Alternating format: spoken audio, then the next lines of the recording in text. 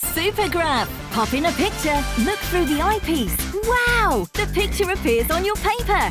Just trace it for brilliant results every time. Use it outside to draw fantastic real-life landscapes. Anywhere. Anyone can be an artist with Supergraph.